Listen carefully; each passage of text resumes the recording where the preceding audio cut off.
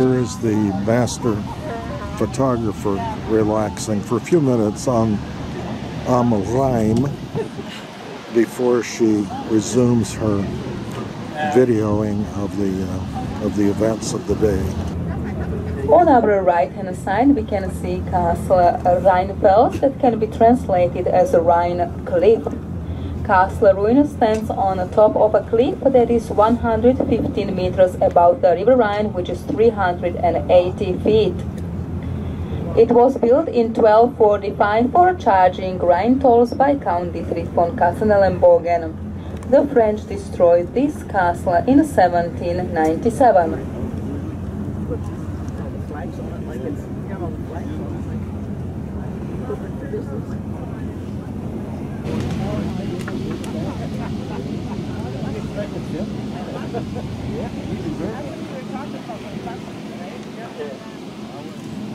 Coming up on our left-hand side is the smallest town on the River Rhine.